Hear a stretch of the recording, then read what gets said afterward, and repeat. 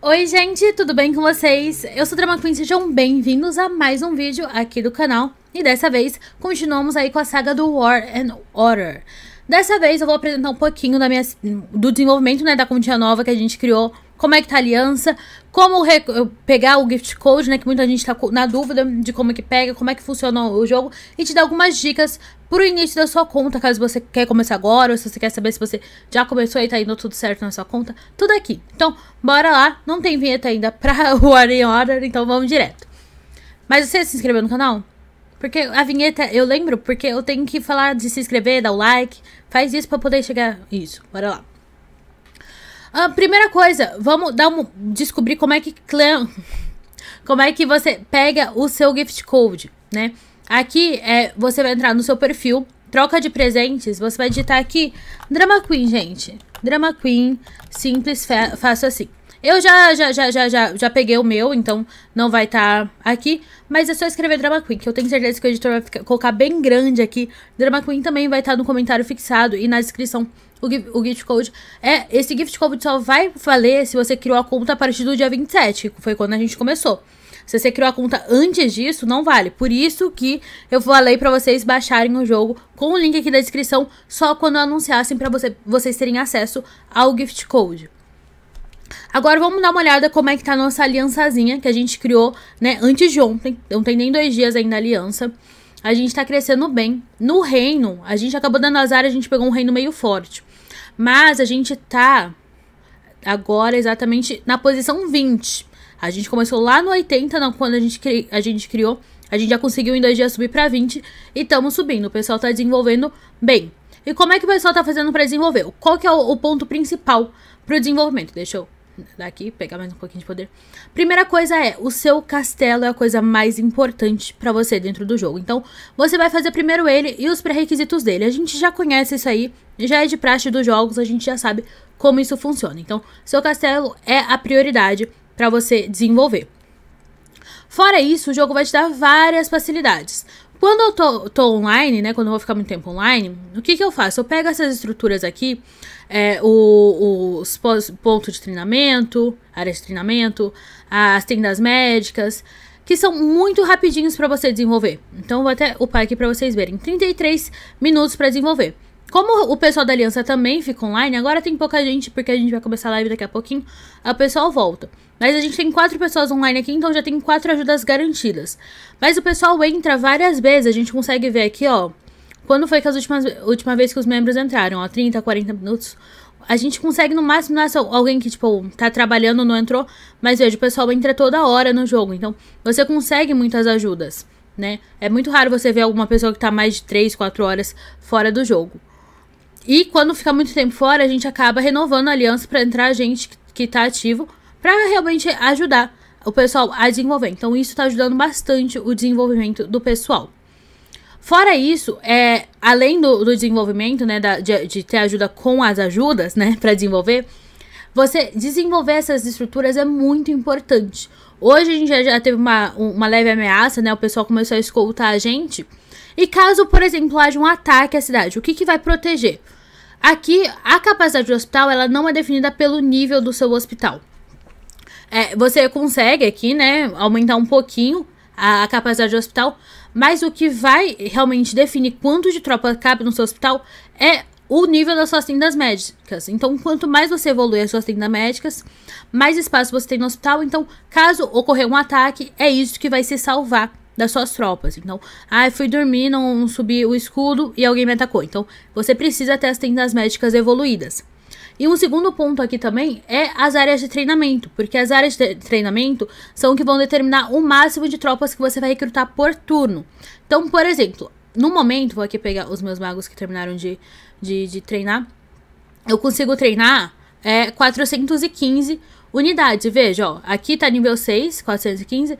Nesse aqui que tá nível 5, também vai ser 415. Porque o nível do centro de treinamento não determina quantas tropas eu consigo treinar, e sim o nível das tropas que eu consigo treinar. Aqui eu, tô, eu consigo treinar nível 2, e aqui eu consigo também nível 2. Preciso aumentar mais um pouquinho.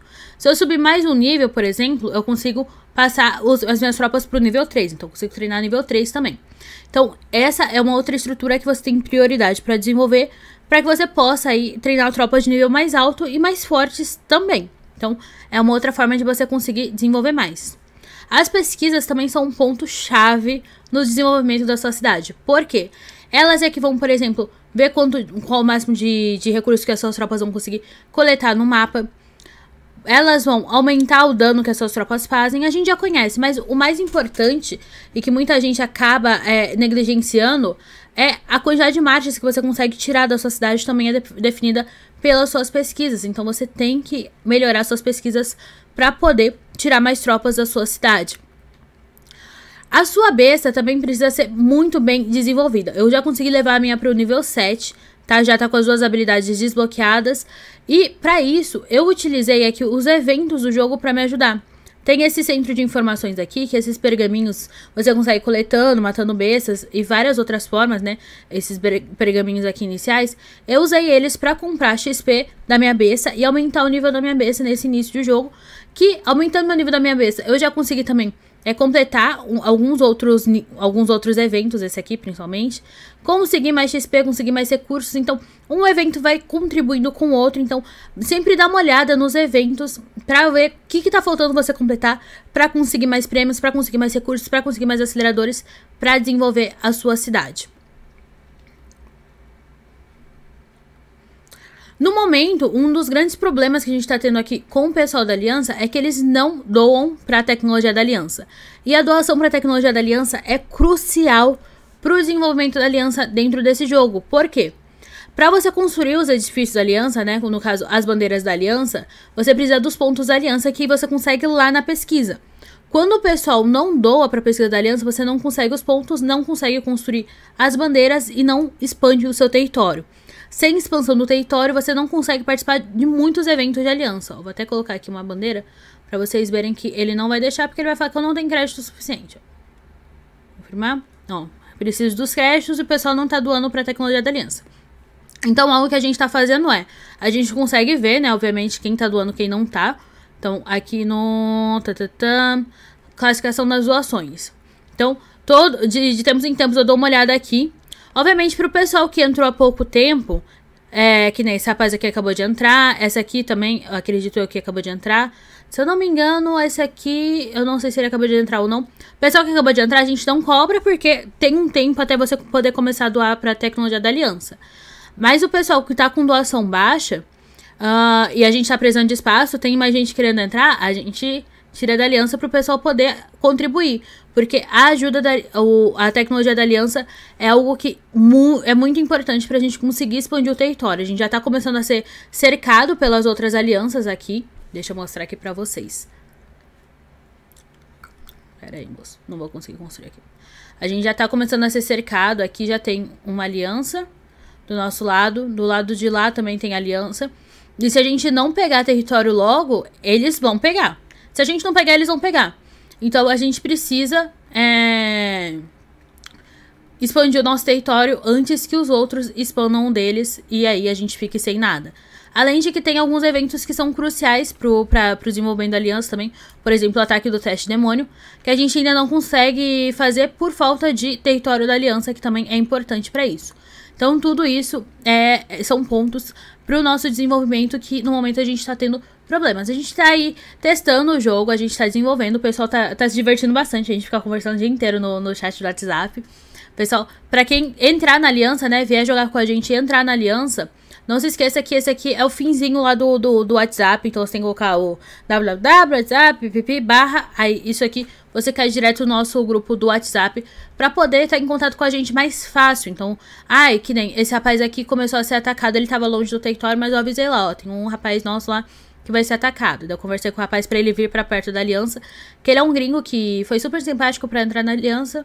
Então, é, eu expliquei para ele como é que fazia para teleportar, ele veio para cá. E agora vamos ver quando é que ele vai apagar o fogo da cidade dele, porque ainda não fez. Uh, então, assim, o desenvolvimento tá sendo muito legal. Se vocês quiserem jogar com a gente, ainda tá, dá, porque tá bem no iníciozinho. A gente criou uma segunda aliança, porque essa aqui tá, tá quase sempre cheia, né? Então, é a LDB Então vocês podem aplicar na LDB se vocês quiserem jogar junto com a gente, que daí a gente tem duas alianças para poder expandir o território, para poder lutar junto. Uh, e a gente até tá conversando de talvez é, criar uma, um, um, uma conta num novo mundo depois que a gente pegar de, certinho o jeito da coisa para poder desenvolver legal mesmo a conta. Uh, mas eu tô curtindo bastante. Eu acho que vocês também vão curtir muito o jogo. Ele é bem simplesão de, de, de, de, jogar. A gente tá tendo várias lives, então vocês também podem tirar dúvidas durante as lives que a gente tá fazendo do jogo. Eu tô curtindo. E eu, eu, o pessoal que tá jogando junto com a gente, deixa aqui no comentário se vocês estão curtindo o jogo ou não. Não se esqueçam que, se vocês querem baixar o jogo, o link para baixar tá aqui na descrição. E de pegar o presentinho de início do jogo pra ganhar uns aceleradores e recursos pra iniciar aí já na frente. Deixa eu melhorar aqui a minha tecnologia nesse meio tempo. Ah, eu não falei dos golems, né? Quando você chega no nível 10, você pode co começar a recrutar golems aqui. Você clica em recrutar os golems para eles defenderem a sua cidade. Então os golems eles não saem da cidade e eles ficam aqui só para defender.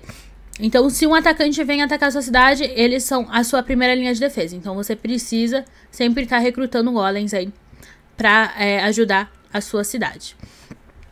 Tem muita coisa que eu ainda não mostrei. Tem aqui a conjuração é, do que você vai conjurando os artefatos e, e, várias outras coisas. Recomendo que você só conjure quando você juntar 90, né? Pra você economizar aí, que tem um descontinho quando você abre vários. Aqui nesse jogo, abrir vários é uma vantagem, porque tem desconto.